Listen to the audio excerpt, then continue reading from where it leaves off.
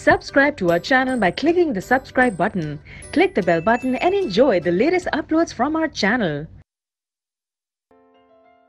Now student सीधा question four question four is why do we fall forward forward direction में क्यों गिर जाते हैं?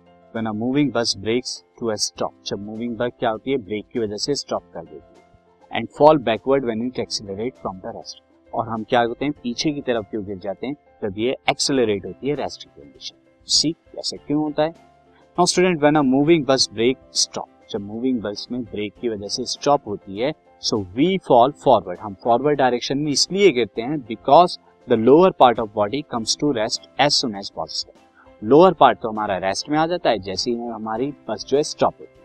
बट अपर पार्ट की बात करें अपर पार्ट क्या होता है? Body continues to move forward due to the inertia upper part आगे की तरफ़ मूव करता है इनर्शिया की वजह से।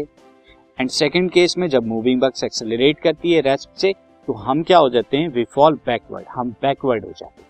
And the lower part of our body being contact lower part की वजह से फ्लोर में हम क्या होते हैं? Motion along with the bus हम मोशन करने लगते हैं जिसमें so on the other hand upper part of body remains at rest upper part जो होता है रेस्ट में रहता है.